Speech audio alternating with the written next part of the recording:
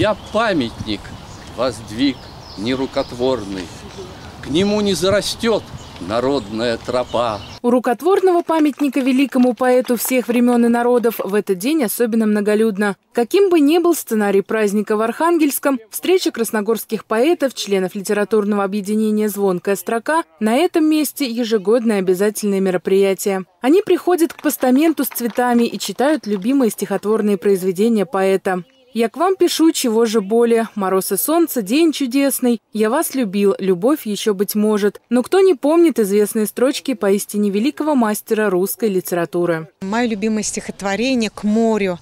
Оно осталось любимым еще со школы. Э, мы учили его наизусть тогда, и Пушкин открылся для меня именно этим стихотворением. Хотя я уже знала и «Зимний вечер», и сказки знала. Я помню чудное мгновение в этот день звучит под звуки гитары. Геннадию Хрусталеву строчки романса подпевают все участники праздника.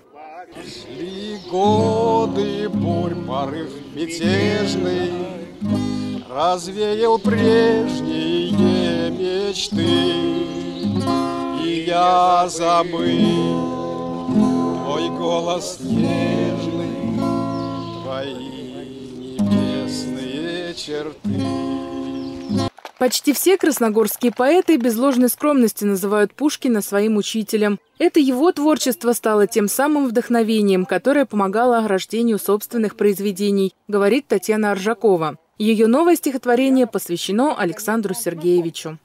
«Я не творю себе кумира, в душе греха не утаить, но как звучать могла бы лира, страдать и плакать и любить без божества его творений – Ужель не знал великий гений, кто движет вещей рукой?